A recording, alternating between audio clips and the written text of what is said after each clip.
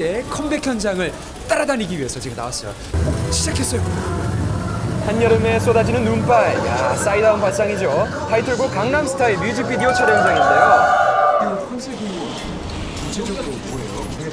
끝까지 한 번도 멋있는 적이 없는 뮤직비디오가 하지만 뮤직비디오 출연자는 쟁쟁합니다. 먼저 보미닛의 현아. 이어서 국민 MC 유재석 씨까지 싸이 씨의 인맥이 총동원됐습니다. 눈에 확 띄는 노란색 정장. 대체 뭘 보여줄지 기대가 되네요. 싸이 특유의 유쾌한 음악이 흐르고 슬슬 몸에 시동을 거는 싸이. 이때 등장한 댄스 라이벌 유재석. 유재석의 압구정 스타일 메뚜기 춤. 아, 이 춤을 대체 어떻게 이깁니까? 승리의 키스를 날리고 멋진 스포츠카를 타고 사라지려는 찰나 빵 터진 싸이 씨의 웃음. 이 문이 안 열려서 NG입니다.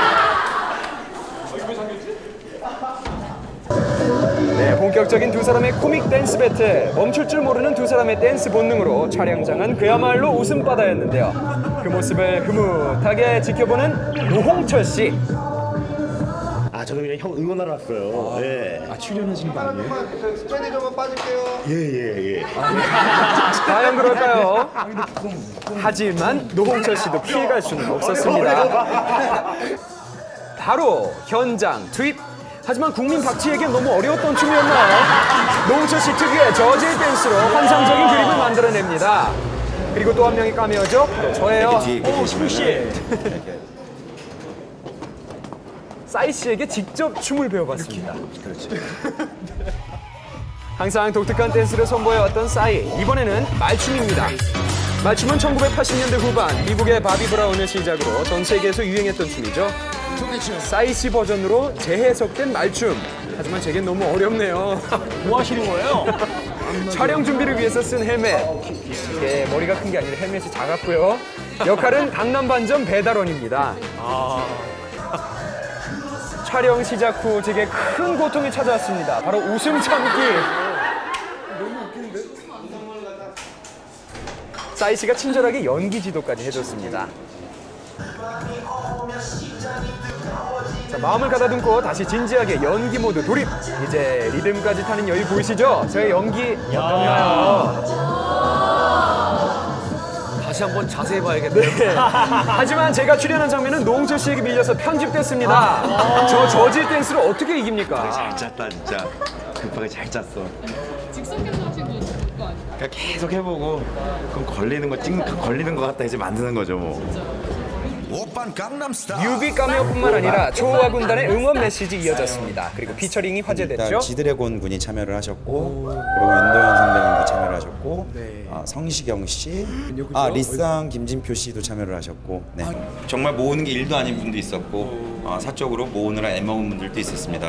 아, 하지만 중요한 건 아, 저는 한 번 물면 한 번 물리면 아, 그냥 가는 겁니다.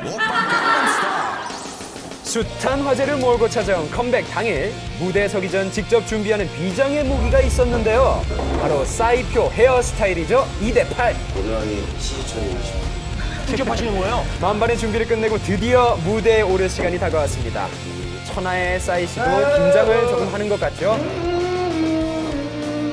자 본방은 했지만 우리 1위에 대한 감사한 마음을 합시다. 세대 축자 하나 둘 셋. 드디어 관객들이 기다리는 무대로 입장합니다. 어느 때보다 행복해 보이는 모습이죠. 저의 타이틀곡이 좀 너무 다소 착해지는 감이 있지 않나 제 스스로가 어, 대중들이 처음에 처음에 저를 선택해 주신 이유는 어, 골 때린 거 어떤 양스러움이었는데 12년 만에 초심으로 돌아가서 어, 댄스 가수로서 본연에 충실하기 위해서 어, 매진하고 있습니다.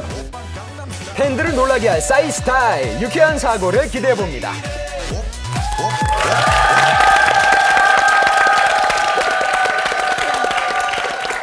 네, 새 앨범에 윤도현 씨도 피처링 하셨잖아요. 네. 싸이 씨한테 어쩌다가 이렇게 물리신 건가요? 네, 그 리쌍의 Someday라는 곡 피처링 했는데 네. 그 발매되기 전에 그 같은 자리에 있었어요. 아, 네. 근데 리쌍의 길 씨가 자랑을 한 거예요. 싸이 씨한테. 근데 싸이 씨가 왜 리쌍만 해주고 자기는 안 해주느냐. 아, 그래서 해준다고 약- 약속을 하고 3일 후에 정확히 음원을 보냈습니다, 저에게. 결국에는 싸이의 어떤 질투로 시작된 거죠. 질투심 때문이었군요. 네.